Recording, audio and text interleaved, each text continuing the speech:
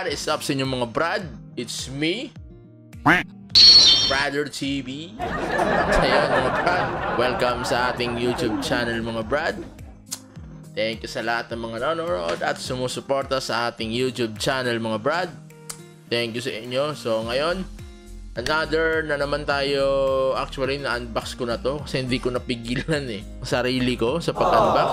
Kasi na-excite ako dun sa item. Kaya review na lang. Pakita ko na lang sa inyo. Actually, na-post ko na to sa Facebook page natin, Brother TV. And then, yun. Eto si Galactus.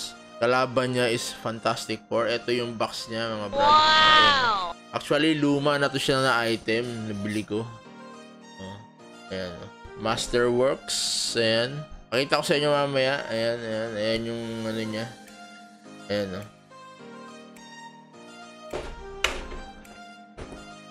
So, reviewin natin mga brad, itong Masterworks. Ang may gawa nito is ano eh, Toy Biz. Toy Biz. Yes! Hindi siya Hasbro. So, ano siya, Toy Biz, mga brad. So, luma na siya. Luma na to na action figure. Toy Biz. Hi! 2006? 2006 pa. So, 2006 pa to mga brad. So, almost 14 years. So, yun mga brad. Ito yung i-review natin. Itong Marvel Legends Masterworks na si Galactus. Ayan mga brad, tingnan natin. Gusto ko lang i-share sa inyo kung, kung gusto nyo ba tong action figure na to. Kasi lagi na lang tayo, One Piece, Dragon Ball, mga anime. So, Marvel naman tayo mga brad. Actually, marami ako mga Marvel din. Meron pa akong Professor X. Meron din akong, meron akong Ant-Man. Oh, na, na ba nakapag ano na rin tayo? Nakapag-unbox na pala tayo ng Marvel si Thanos. Saka si Iron Man. Pero bad presto may gawa nun. Ito naman yung mga item ko. Mga action figure ko. Hasbro. Ang may gawa. Mga Marvel Legends. Hasbro. Tapos ito, Toy Biz. So yun. Tapos meron din akong paparating pa yung ano. Mga Wonder Woman. Maganda yan. So, Okay yan. mga brad, papakita ko rin sa inyo yun. So, para ito sa yung ginagawa natin para kung gusto nyo bumili ng mga item na ganito, yung mga toys, at least may nakita nyo na kung ano yung itsura nito bago nyo bilhin. So, yun, mga brad, at least hindi kayo nakagastos, ako lang gumastos. Ayun, mga brad, ako lang gumastos. So, mga brad, let's go sa ating toy review. Pakita natin yung Galactus ko. Nakalaban niya sila Fantastic Four, si Doctor Strange, andun din si Thor, andun din si Wasp, uh, Iron Man, andun din. Pakita natin si Galactus. So yung mga brad, kung di ka pa nakasubscribe, like mo naman tong video natin and then comment down below sa sa baba. Tapos kung gusto mo magpa-shoutout o ano mga comment mo and then don't forget to subscribe brad sa ating YouTube channel para updated ka sa ating mga future videos. So yun mga brad, let's go na sa ating toy review.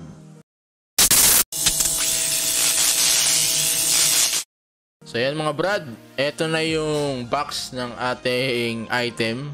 Kung titingnan nyo, laspag-laspag na.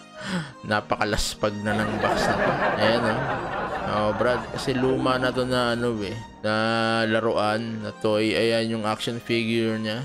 Si Galactus versus Fantastic Four. At eto, from Toy Biz. Sa Toy Biz to mga brad, ayan o. Toy Biz. Marvel Legends. Ayan.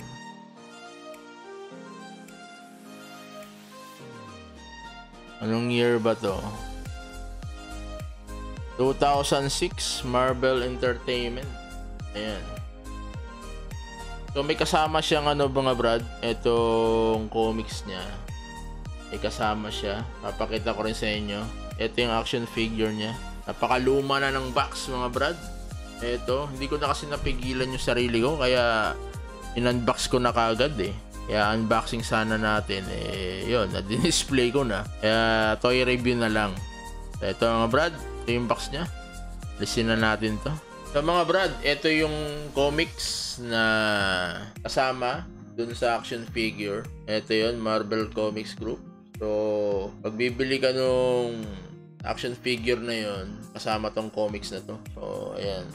Ayan yung loob. Ayan.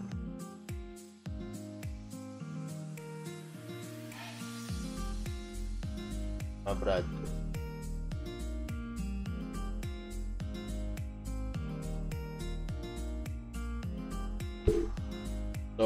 Itong comics na to is oh, not for sale. Ayan, oh, nakalagay yun, not for sale. Ibig sabihin, magkakaroon ka lang nito ng comics na to pag meron pag bumili ka ng action figure na yon. So, yun. Medyo wala ka mabibili nito, 'di ba? Kaya eto, ingatan ko, lagay ko sa plastic. Kasi alam nyo, magandang investment din yung toy na kasi tumataas yung value nito pag matagalan. Tapos, yun, kung gusto mong yung pera mo is uh, gusto mo rin nakikita mo kasi yung iba 'di ba nag-iinvest sa ginto, sa mga alahas, sinusuot. Ako naman, ito, nag-invest din ako ng mga toys kasi uh, balang araw, nagmamahal yung value naman nito. Lalo na pag nagiging rare na. Kaya may, medyo yung mahirap nang hanapin. No? Lalo na yung mga Dragon Ball, yung mga sikat, One Piece, ba? After 15 years, syempre, yung mga bata, sasabihin, oh, vintage na tong toys na to. Sino kaya meron? Eh, ikaw meron kang ganun.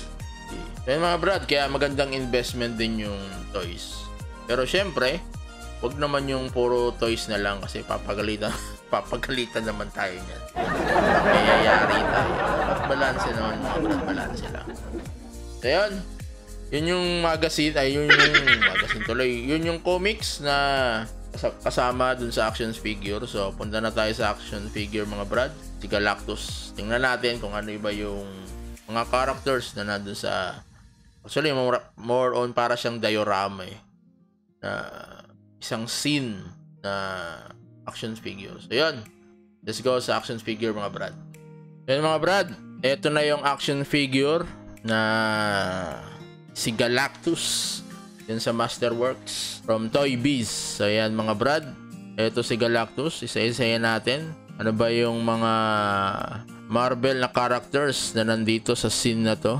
So, una is si ayan, yung mukha ni Galactus oh. Ganda ng detail mga brad oh, ni Galactus.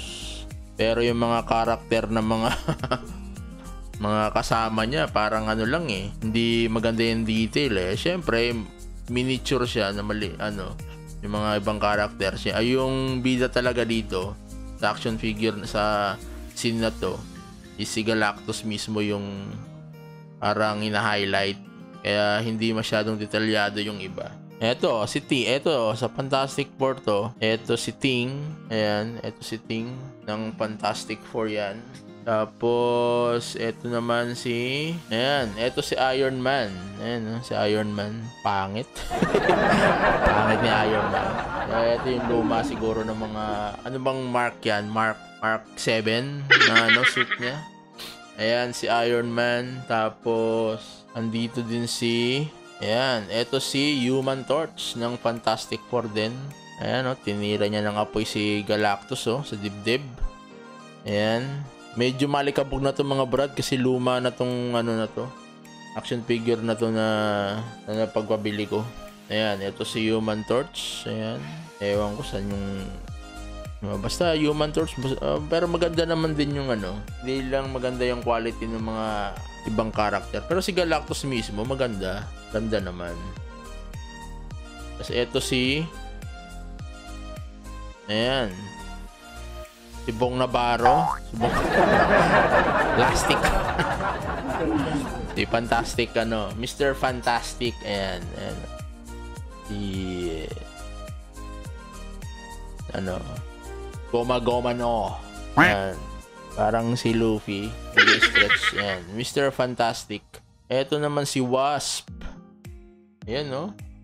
Ayan si Wasp. Si Wasp. Wala si Ant-Man, no? Si Wasp nandyan. Pero bakit malaki si Wasp, no?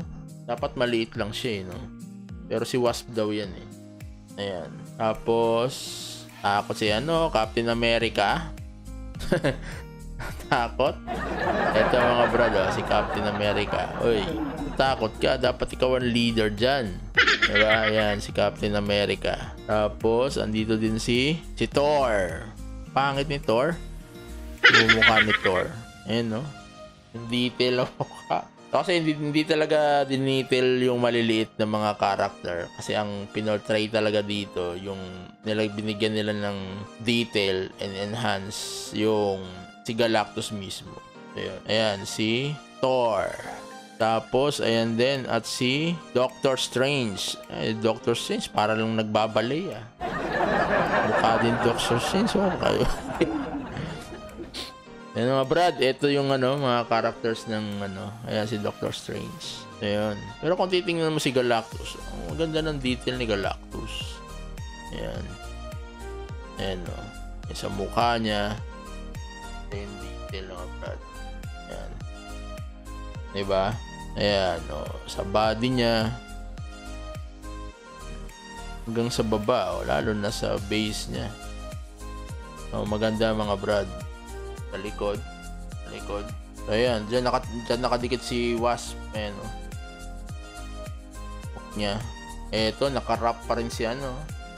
Si Mr. Fantastic sa kanya. Tapos si Human Torch galing sa likod.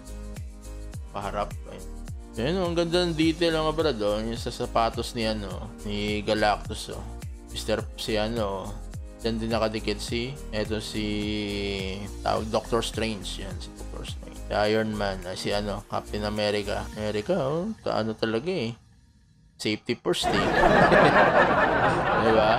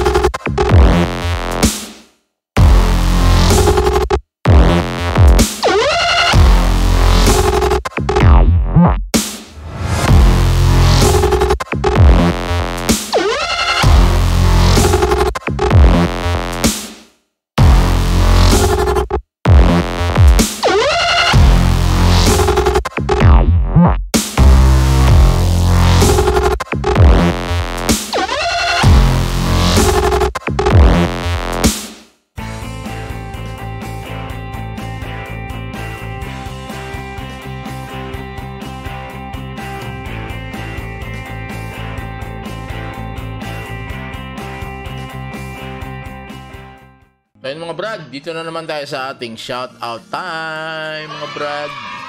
So, shout out kay John Errol Domingo. Shout out sa iyo, brother. Shout out kay Jerome.